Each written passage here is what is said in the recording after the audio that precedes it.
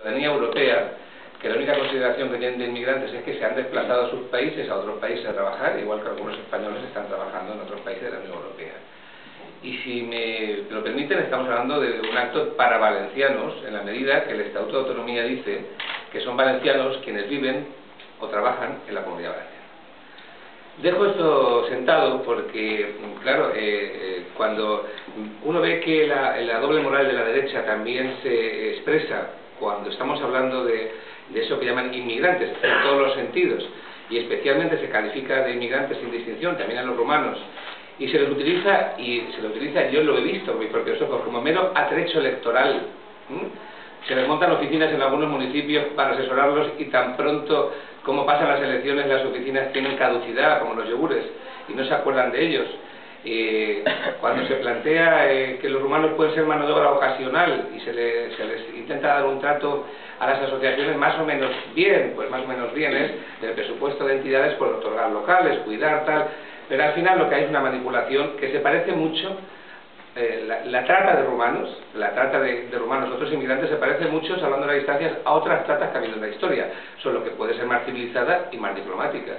Pero se diferencia un poco de la trata de blancas o la trata de, de otro tipo de gente, cuando se coge a la gente para que haga más electoral, se la censa en casa de concejales, se la utiliza y luego se la olvida, estamos haciendo indecencia política. Y yo sé que el Partido Popular está muy acostumbrado a la indecencia política, pero yo lo denuncio porque eso no es lo que toca. Y los rumanos tienen que saber que son valencianos, son españoles porque trabajan aquí, pero además como europeos tienen los mismos problemas que cualquier trabajador español, que cualquier trabajador francés, que cualquier trabajador alemán. Es decir, que tienen que levantarse por la mañana a trabajar para poder subsistir y en el caso de los que están aquí tienen que levantarse en un país que aunque sea la Unión a la que pertenecen es un país extraño. Por tanto, sentar esa premisa no pueden en ningún momento caer en la tentación o en la trampa de pensar que la derecha les puede defender. Yo no sé si todos los humanos que están aquí entienden bien español, quizá mi español es demasiado rápido, pero en España decimos que la cabra al monte tira. Uno puede comprarse una cabra como animal de compañía, pero cuando se deje la puerta abierta se irá al monte. Es lo que le pasa a la derecha. Ustedes pueden tener a la derecha como animal de compañía, como políticos de compañía, pero cuando abran la puerta les explotarán. Les explotarán. Por tanto, esto tenemos que dejarlo muy claro y muy sentado, porque no es lógico. No es lógico que la gente que trabaja o se desplaza de su país para poder vivir, entiende que puede vivir mejor que en su país, llegue aquí y pegue en las fauces de la gaviota. En las fauces de la gaviota que deberían cambiar por un jabalí a la vista de cómo se, se retuercen y retozan en el cielo en esta campaña y en el estiércol. Porque están haciendo esta campaña en auténtico estercolero, cuando no con Falcons, con otro tipo de historias, menos hablar de Europa, menos decir la verdad de lo que piensan. Y en este caso, lo que piensan a lo mejor no lo dicen sus dirigentes. Pero miren, a mí el sábado, después de terminar un mitin en Manises, me lo dijeron un grupo de militantes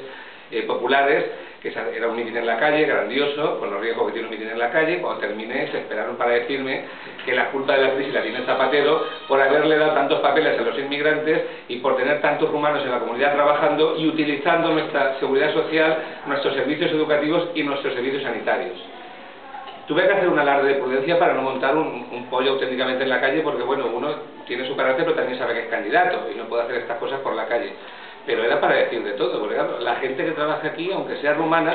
si consume la sanidad es porque está pagando sus impuestos y porque es un ciudadano español y valenciano. Y si va a la escuela es porque tiene derecho a ir a la escuela, como la tiene cualquiera de, los que estamos aquí. Entonces, el doble juego en qué consiste? En que el consejero Blasco se haga las fotos o el consejero Cotino se haga las fotos y la base militante esté difundiendo por centros de salud, por los servicios públicos, que son los rumanos, especialmente aquí, porque es la colonia más amplia, de, lo que ellos consideran inmigrantes, entre comillas, la que está perturbando de alguna manera o perjudicando nuestros servicios.